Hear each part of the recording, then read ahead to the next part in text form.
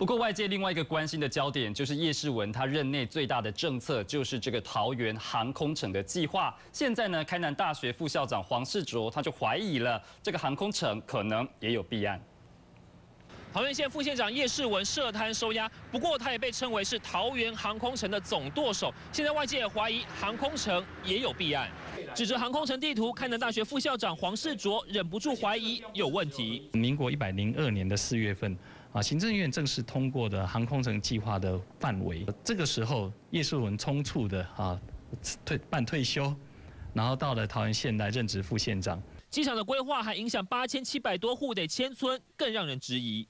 引发质疑的就是机场跑道之后就会盖在这里，离我身后的沙轮油库只有短短不到二十公尺，安全堪忧。仔细看看设计图，机场的第三跑道将盖在现有跑道北方，舍弃了南边原有的空军机场，但北边还有个沙轮油库，距离跑道只有二十公尺，万一发生意外，后果不堪设想。自由会他们有是有反对的。